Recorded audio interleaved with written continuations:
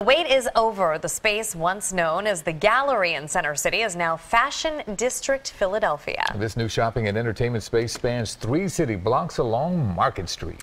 Eyewitness News reporter Chantee Lans is there live to show us around. Hi, Chantee. Hi, Jessica and Yuki. I can tell you lots of people have been filling the lobbyway here by Market Street. Now, this was open since noon. This is the new Fashion District, Philadelphia. What you're looking at is the inside because the doors have officially opened. The sounds of cheers welcomed by shoppers in Center City for the new Fashion District, Philadelphia. Oh, it's better than ever. Yep. Yep. I'm glad they brought more stores out here. After four years of construction, Mayor Jim Kenney and developers welcomed hundreds outside of the mall. Market Street has always been home to many businesses which attract both residents and visitors alike. Now the Fashion District is helping to redefine this corridor's future. On the inside, live music serenaded shoppers. It's really great. I, I, can't say enough about it. It's just beautiful. I'm so glad they brought it to Philly.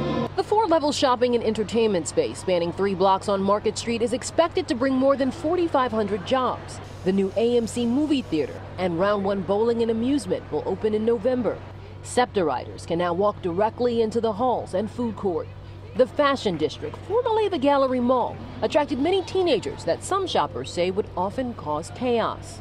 I asked the developer how his team plans to avoid the same problem in the future. We've dramatically increased the security at the property. Um, we've gone from 30 security cameras to 280. A traveling attraction called Candytopia set up shop the 12 room display, which allows you to take photographs and interact with props, is like an Instagrammer's dream. But most entering the doors to the fashion district are just there for the shopping. Yeah, I'm getting my drawn shirt. So I saw this, wanted it, so I've been looking for it everywhere, and now South Queens here, so it's awesome.